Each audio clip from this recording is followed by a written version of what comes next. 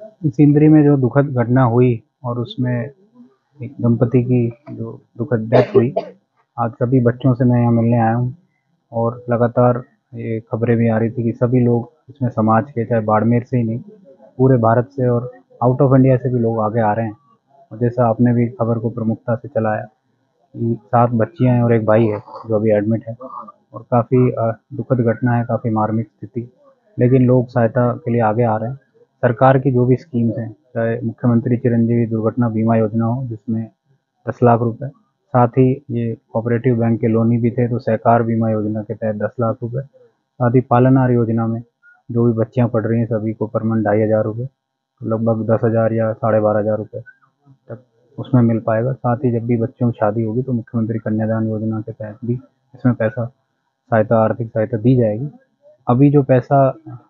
भामाशाहों ने दिया है समाज के विभिन्न लोगों ने दिया है, उसको किस तरह से सिक्योर किया जा सके उसको लेकर यहीं चौपाल पर बैठकर सभी समाज के लोगों से चर्चा की है। और इसमें कोऑपरेटिव बैंक में इनकी अलग अलग एफ़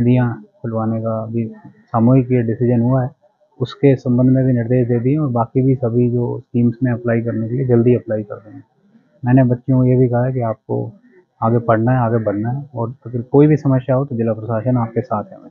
एक अपने आप में इस प्रकार की पहल होना और मैं दो दिनों में इस प्रकार से राशि खत्म एक क्या संदेश देती है? किस तरीके से भामा साहब जो है, बच्चों के लिए, उनके लिए आप सब क्या जिसने भी इस खबर को देखा, उनका मन किया और ये मेरे ख्याल से अद्भुत है कि प्रमुखता से आपने भी इस खबर को चलाया और उसके बाद लोग आगे आए। और ये मेरे ख्याल से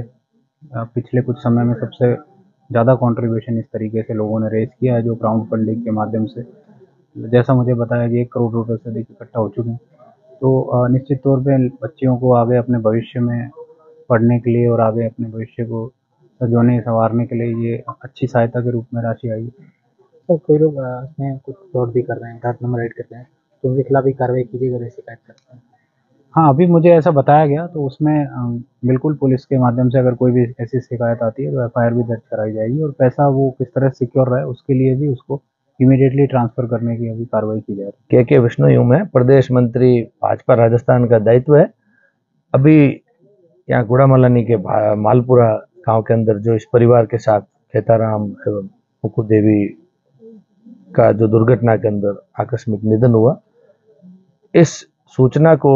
जो फ़र्स्ट इंडिया के अंदर भी बहुत अच्छे तरीके से चलाया गया, उस मुहिम के चलाने से बड़ा ही भावनात्मक असर यहाँ के बाड़मेर ज़िले के एवं बाड़मेर ज़िले के दूर सुदूर पूरे हिंदुस्तान के अंदर अलग अलग राज्यों में जो प्रवासी बंधु बैठे हैं, व्यापारी बंधु बैठे हैं, कई ड्राइवर्स के संगठन हैं, कई अलग अलग एनजीओ ने सभी ने मिलकर के अभी तक इस परिवार के लिए, इन बच्चियों के सहयोग के लिए लगभग सवा दो करोड़ से ऊपर का तो आंकड़ा मेरे को ध्यान में आ रहा है जो इनकी मदद के लिए आ चुका है। और मेरा मानना है कि ये शायद तीन करोड़ से भी ऊपर तक जाएगा। इसमें आप मीडिया बंधुओं का मैं विशेष करके मेरी तरफ़ से धन्यवाद भी ज्ञापित करना चाहूँगा, जो फ़र्स्ट इंडिया ने मुहिम चलाई। पीराराम नागिल है इस बच्चियों के लिए खूब सहयोग हुआ है। और करीबन पौने दो करोड़ रुपए, एक करोड़ सत्रह लाख करीबन इसके अकाउंट में कुछ पैसे नकद यहाँ आ चुके मीडिया के माध्यम से ये मुहिम चली। मैं इस मीडिया कर्मियों को सबको तय दिल से धन्यवाद देना चाहता हूँ। इस परिवार का इतना सहयोग एक भाई से बढ़कर किया है।